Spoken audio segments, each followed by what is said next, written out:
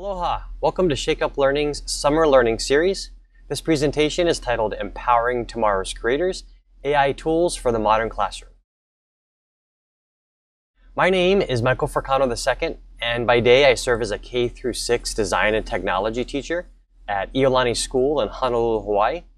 I'm also a Google for Education certified trainer, a Code.org computer science discoveries facilitator, and I love being an ambassador of many of my favorite EdTech tools, such as CoSpaces EDU, some of the newer AI tools like Magic School, School AI, and Curipod, and many others.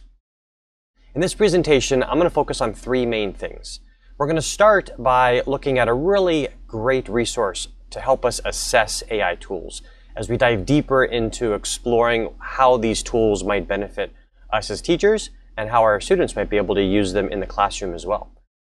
Then we'll take a look at some AI tools that are available today. Some of my favorites, some that I'm really interested in exploring uh, in my classrooms uh, next school year. And then we'll wrap up the presentation by looking at a couple of AI tools that are on the horizon. Let's start by looking at a resource that might help us assess AI tools. Now this resource comes from TCEA. It's not mine. I had no hand in creating it, but I came across it recently and I think it's a really great way to look very closely at uh, AI tools that we're interested in using in our classrooms. And it's a great way to assess them and determine whether uh, they'll work for us as teachers and our students and if they're appropriate to use. Uh, this TCEA resource is a, it's, uh, it's two things. It's a teacher rubric and it's a checklist. And both of them check for four main uh, um, things related to these tools. One is uh, the tool's relevancy to us as teachers and our students and our classrooms, um, their policies around student data privacy, um, their, the tool's ease of learning, and the kinds of support that the tool provides to teachers and students. The checklist that you can see in this uh, front picture here is a, a great, it's, it's the, the, first thing you want to use if you're going to look at this resource and consider using it. It's great for quick screening. It's a checklist. You can, you know, as you're exploring a tool, check the box on whether it, it, it applies or it kind of applies or there's nothing really related to that focus in the checklist. And um, if you get a lot of yeses, uh, and, and kindas, then it might be something you want to look more closely at, thus using the rubric for deeper evaluation. So feel free to check this out. I have a link in the slide deck here uh, after the presentation and see if it uh, if it's helps you and supports you in further uh, exploring AI tools. Now let's take a look at some AI tools that exist today. These are tools that I find really interesting that I think might have a potential use for me and my students in my design and technology class. I teach kindergarten through sixth grade, about eight to 900 students. Um, and I see all students throughout the school year in my, um, in my design and technology class.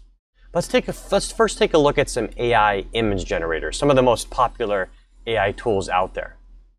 The first one I want to uh, show you is Adobe Firefly.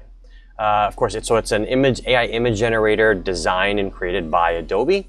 Uh, it has its own standalone web-based tool, firefly.adobe.com, but they're also building it into other Adobe apps like Adobe Express that some of you might be familiar with, and some other uh, more robust apps like Illustrator and Photoshop.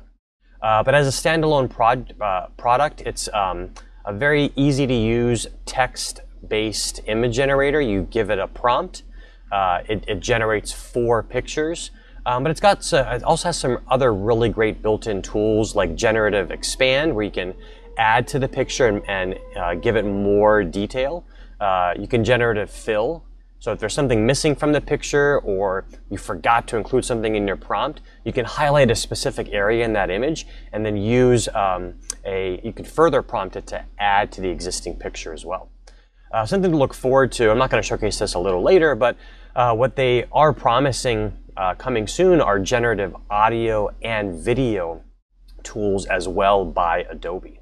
So check out Adobe Firefly. It's a really great source. Uh, you can set up a free Adobe account. You get 25 credits per month, one credit per image generation. Uh, my school has an, an, um, an, Adobe school license. And what I found out recently is that my school Adobe account has 400 credits uh, per month. So if you're an Adobe school or a district that has access to Adobe, uh, the Adobe suite, uh, you might want to check out Adobe Firefly and see if you have the same amount of credits that I do. I was quite surprised by that. So that's, that's a really great opportunity for me and my students as an Adobe school. Uh, the next image uh, generate, generative tool that I want to share with you is Google's. They have one called ImageFX, and it's part of a broader suite of tools called the AI Test Kitchen. These are all sort of beta apps that Google has uh, opened up to the public for use. And of course, using it means that you're helping to train the AI model and you're, you're giving it feedback and it's learning from us as we continue to use it. But one of them is ImageFX, and it's very similar to, Ado to Adobe. It's a text-based image generator. You, you, you give it a prompt, text-based prompt, and it'll give you four images, uh, four you know, slightly differing images, and then you can um, you can uh, you can. They also have uh, an an opportunity an option to edit the image. Uh, just like in Adobe uh, Firefly, where they have a generative fill, ImageFX has a very similar feature where you can you can generate your picture, and then if you want to add to it, you can edit that picture and use further text prompting to add and, and change the picture, which I think is really cool. Also, one thing I really love about ImageFX is it has um, descriptive words at the bottom that you could add to your prompt. So if you're in, you're like me, I'm not really good at, at prompt crafting. I struggle coming up with you know the specific words you might need to really um, uh, hone in on that that you know kind of picture or content that you're looking for in the AI tool. Um, but ImageFX gives you uh, descriptive words that you could cycle through, you could refresh and find the right ones, and then you could click them and add them directly into your prompt to further expand on, on the, the kind of pictures you're, you're trying to create. And um, another uh, image generator, this one's very specific. It's not like the other two. It's a 360 degree image generator. And currently it's, it's um, a tool by Rosebud AI. It's uh, free to access. You don't have to log in like you do the other ones. So you don't have to have an account. Um, you just type in your text prompt. It generates a 360 degree image, which you can then download and use in uh, other great virtual reality creation tools like CoSpaces and ThingLink um, to, uh, to create those, those VR experiences for others. This one's called manyworlds.run, and uh, the, there's a link there that you can, uh, you, can you, uh, you can give it a try.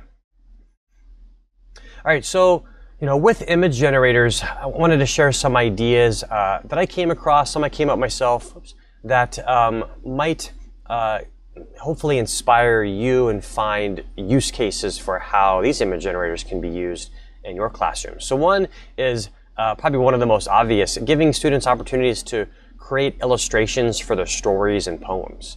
Um, another might be creating the characters and the settings for those stories, uh, coming up with concept art for um, the uh, those those um, illustrations. Um, image generators can help create and design posters, presentations. Uh, it can help create the images within those posters and presentations as well. Um, it's great for exploring art styles. Uh, Adobe Firefly specifically has filters where you can you can click and choose different art styles, and it'll it'll uh, generate images based on that style of art. And so um, using tools like that in an art class to explore styles and abstract concepts might be really useful and helpful in helping students learn in those types of classrooms. And uh, creating personalized avatars for various tools, various projects. All right, so moving on to AI uh, music generators. Um, similar to ImageFX, it's part of the AI Test Kitchen uh, with Google. Uh, it's called MusicFX, and um, it's a it's a text-based music generator. So you give it a, a, a prompt, um, and it'll generate instrumental music.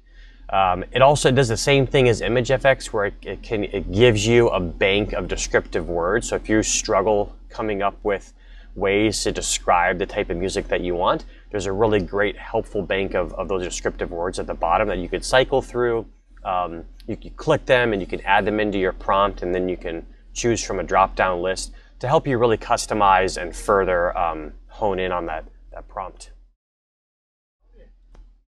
A few other uh, really great built-in features to Music FX is something called DJ mode. So rather than typing in your text prompt, you can switch to DJ mode and you can add in like instruments and musical and, and like styles of music uh, in like a, um, a, um, a list. And you could change like how much of that instrument you want factored into your, your generation of, of music. Uh, there's like a sliding toolbar for uh, like all the different instruments you have in your prompt and all the different uh, uh musical styles. Um, so give give DJ mode a try. It's it's, it's really fun. Um, if you again if you struggle with prompt crafting, DJ mode is a much easier tool to use to craft the music that you want. And then some other really cool things in Music FX is track length. So you can designate whether you want the length of your musical track to be 30 seconds, 50 seconds, or 70 seconds. And then there's um, a looping feature. It's like a checkbox you can turn on that will cause the music uh, to loop, uh, to be designed uh, in a way that it loops very nicely and seamlessly. Um, I've seen some great, great use cases where teachers and students are using this to, to generate like the intro and outro music and the background music for podcasting, for video projects, things like that. Um, so great, great music generate, generative tool. Um, a favorite of mine though is um, Suno. So Suno is uh, it's text text-based prompting, uh, but what it does is it takes your prompt, creates lyrics, and then generates a song with a voice that sings those lyrics uh, as, as part of the music. So it's really cool. It generates instrumentals and vocals with your text-based prompt and uh, gives you the lyrics that it creates as well. Um, and when you create a song with Suno, you get two versions, two slightly different versions um, that you can download as a video file. You can download it as an audio file and use it in other projects. Suno is working on a teacher program. Um, there's a link here on the slide deck and on uh, uh, the website. And uh, if you're interested in using Suno, you can sign up for a free account.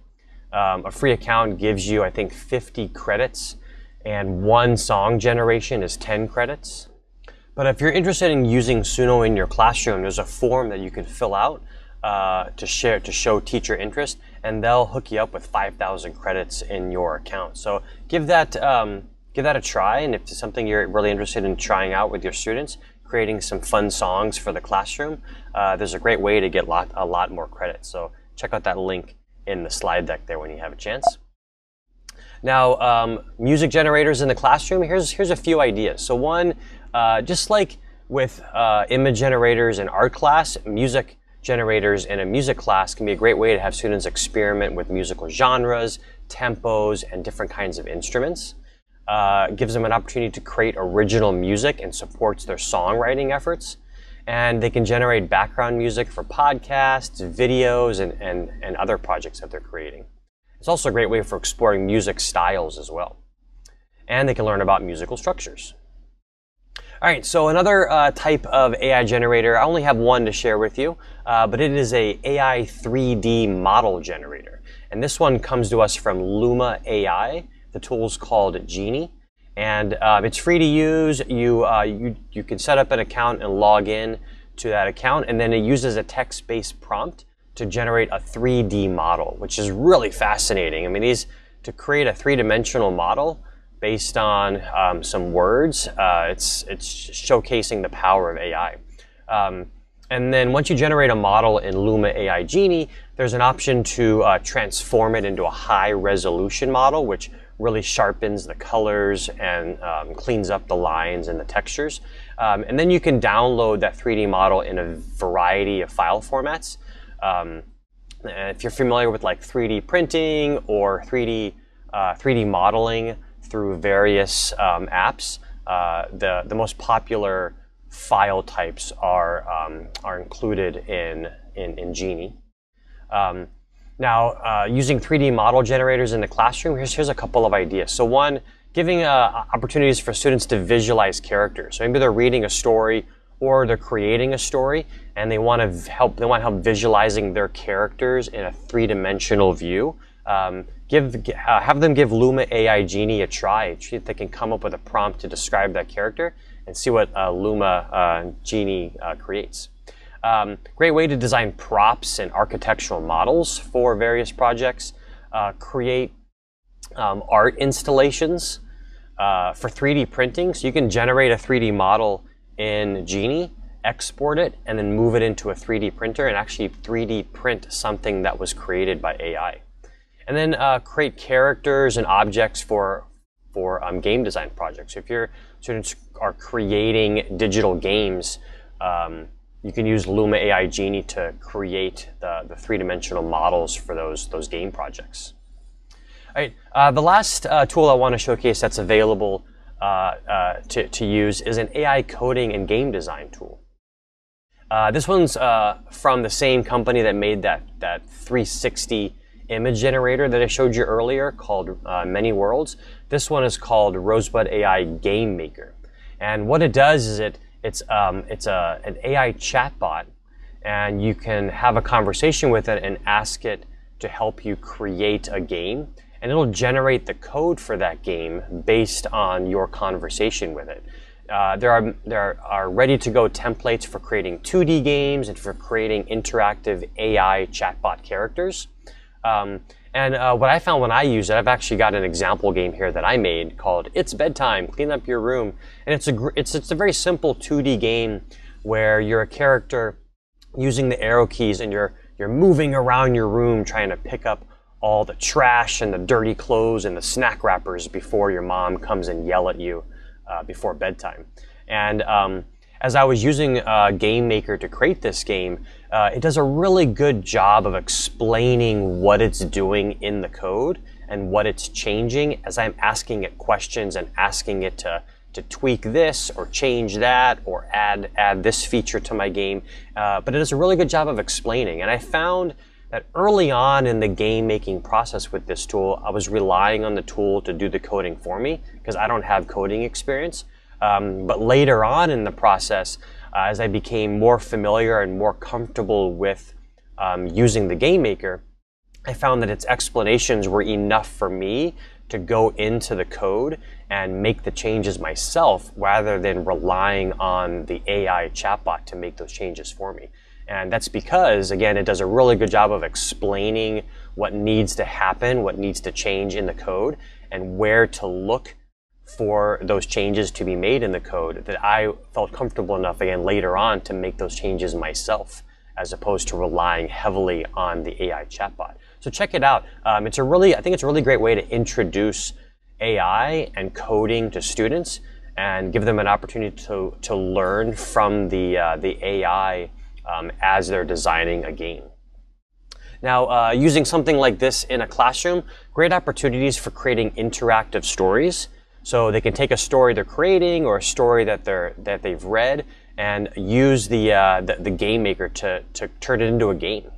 Um, they could. Uh, it's a great way to introduce uh, coding concepts uh, by having them build simple games, maybe similar to games that they play themselves, uh, while learning how to code. A uh, great way to gamify learning. So if they're learning something in a particular subject, uh, see if they could create an, an, educational game based on that learning concept in your classroom. And then again, it's a great way to develop coding skills, to introduce computational thinking skills as well. Now, let me share some AI tools that are on the horizon. These I find really fascinating, and I think they're, they're tools that we should really keep our eye on as teachers. So the first one, um, jumping back to Google's AI Test Kitchen.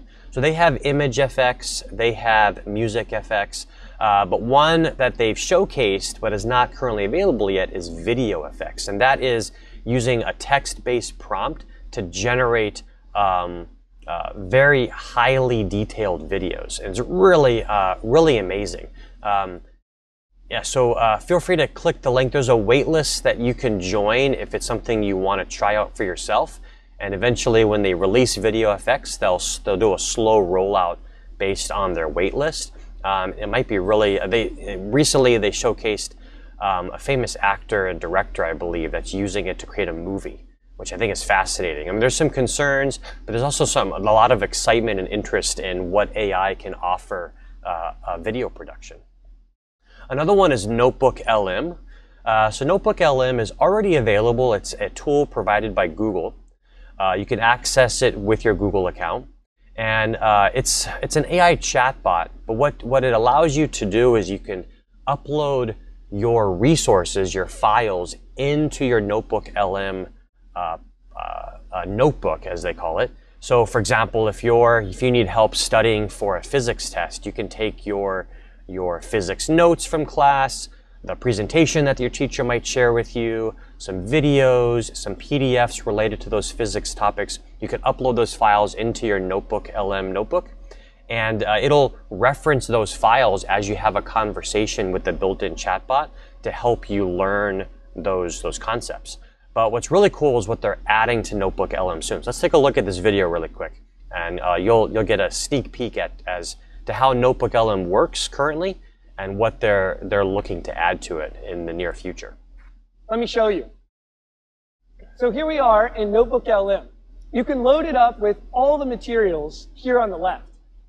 In this notebook, I've been using it with my younger son, and I've added some of his science worksheets, a few slide decks from his teacher, and even an open source textbook full of charts and diagrams. With 1.5 Pro, it instantly creates this notebook guide with a helpful summary and can generate a study guide, an FAQ, or even quizzes. But for my son, Jimmy, he really learns best when he can listen to something. So we've prototyped a new feature with Gemini, and it's called Audio Overviews. Notebook LM is going to take all the materials on the left as input and output them into a lively science discussion personalized for him. Let's take a listen. So let's uh, let's dive into physics. What's on deck for today?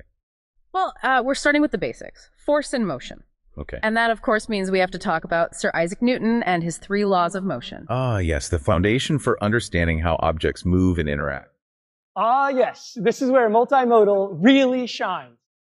Now, it generated this audio discussion based on that text material. And what's amazing is that my son and I can join into the conversation and steer it whichever direction we want. When I tap join. Hold on, we have a question. What's up, Josh? Yeah, can you give my son Jimmy a basketball example? Hey, Jimmy! That's a fantastic idea. Basketball is actually a great way to visualize force and motion. Let's break it down. Okay, so first, imagine a basketball just sitting there on the court. It's not moving, right? That's because all the forces acting on it are balanced. The downward pull of gravity. Pretty cool, right?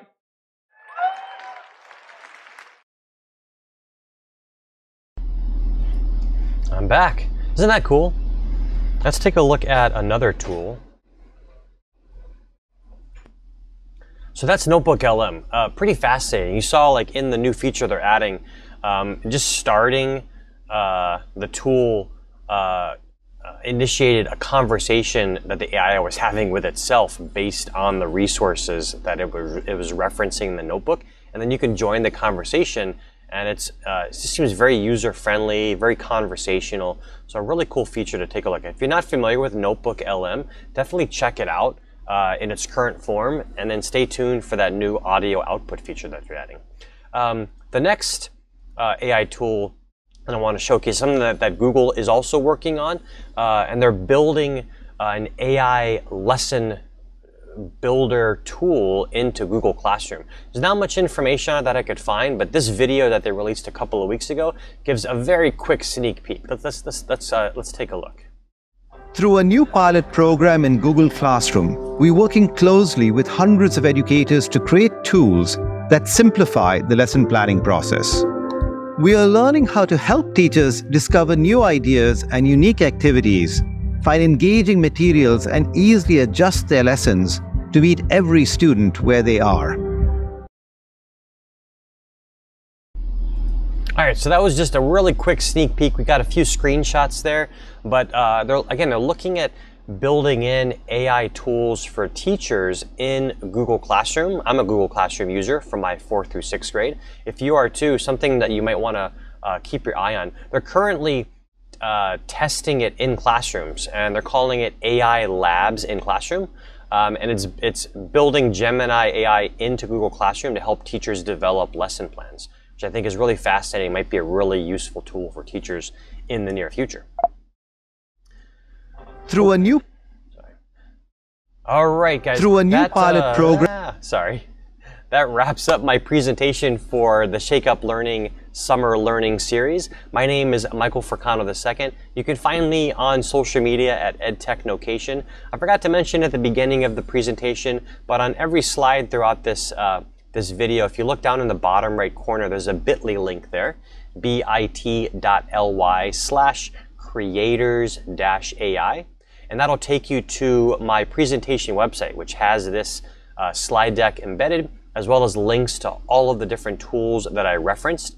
And I didn't point it out earlier also, but if you uh, if you go back in the slide deck or in the video, you might have noticed that there also I've also included links to privacy policies, uh, terms of use and user agreements for uh, a majority of the tools that require you to log in. Those are things that you'll definitely want to take a look at, especially if you're going to use that AI tool um, assessment rubric and checklist. That's uh, one of the key factors in assessing tools is how uh, these tools are using data, uh, how do how do teachers and students get access to the to, to the tools, uh, those kinds of things. But I included links to those as well in case you have trouble finding them. Enjoy the rest of your summer learning series and uh, find me online at EdTechNocation. Let me know if you have any questions. More than happy to uh, engage and have conversations with all of you about these um, amazing, fascinating AI tools. Aloha.